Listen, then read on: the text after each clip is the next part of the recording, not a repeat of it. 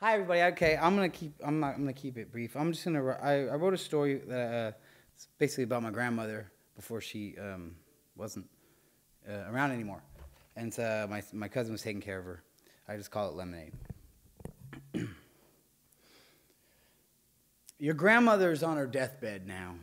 She made it a long time ago, which is to say it was made for her, which really means she doesn't want it, but she's gonna lie down anyway. You prop her pillows for her, lace her lemonade with Demerol because she is dying and dying hurts you. She says so herself. She says, Dying hurts you. Then she downs her lemon and painkiller cocktail. Two gulps and her eyes go gaga inside the tiny thing that you know is her head.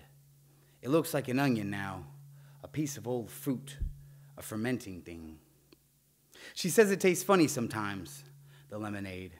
She makes a face like she is turning a thumbscrew, but the thumbscrew is her face, like this. The living room is a rest haven for white noise, the air dense, tart with the copper coin smell of your grandmother and TV dinners. Sitting in her dusty wingback, she stabs blindly chicken fried steak with an oyster fork, watches TV. This time, it isn't MASH. Tonight is courtroom drama, a police procedural.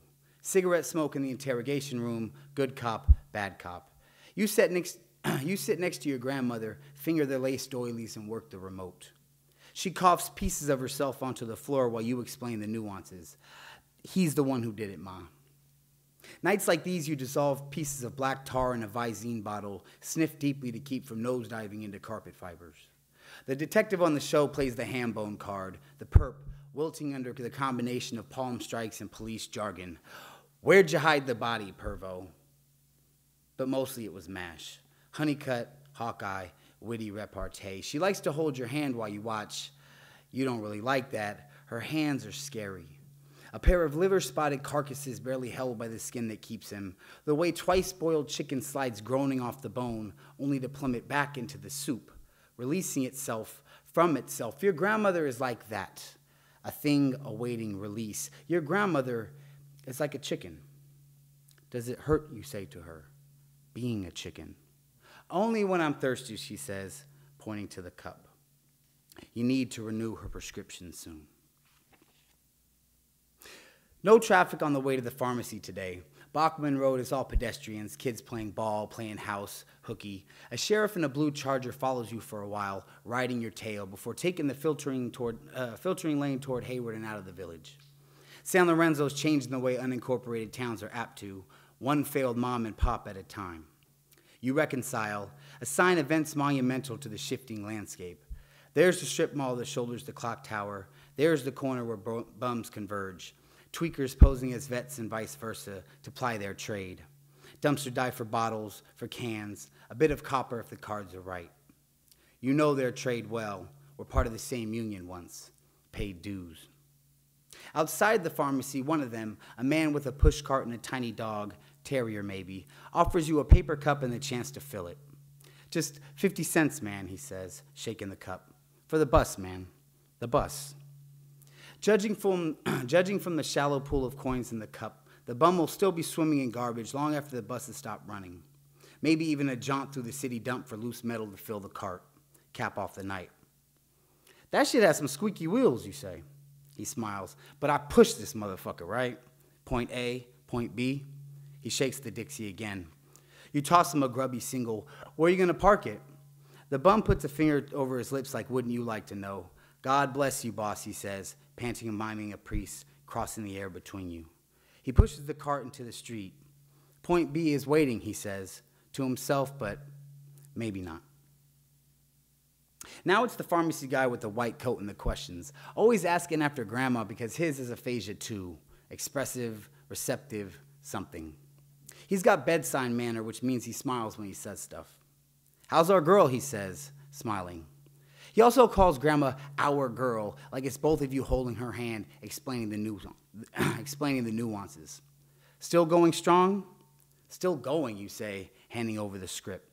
He reads it Demerol, Aricept, the works. But there's an issue with the numbers, with dosage. An incongruity, he says, showing his teeth. A what? The pharmacist picks up the telephone, cradles it in his ear. Just one minute, he says. He talks into the mouthpiece, doses, liquids versus capsules, the possible ramifications of lockjaw. You try to keep up with the conversation, but you're whipped. Outside his voice, the pharmacy is so quiet you can hear it the silence. The pharmacist hangs up the phone. Everything is A OK, he says, congruent. He fills the prescription, puts bottles in a white bag, staples it. Before handing it to you, he says, My Lola, she recognized me this morning. Second time this week. Sounds like an uptick, you say. He smiles. You never know. But the thing is, you always know. It's like the point B thing waiting, always waiting. There are all kinds of possibilities out there roads bend, fork, become paths, well traveled sometimes and sometimes less, and all leading to the same place. Like the five stages of grief all lead to acceptance, so what's the sense in grieving at all? Why not just accept? If two roads diverge in the woods, well, you can simply turn around find a different set of woods. See that tree there? It doesn't grieve, just drops dead leaves in winter. Simple, natural. Sitting in the driveway, you crack the medicine bottle open and swig it. You wipe your mouth across your sleeve, you swig some more. Grandma's still in the living room, wing back, TV dinner.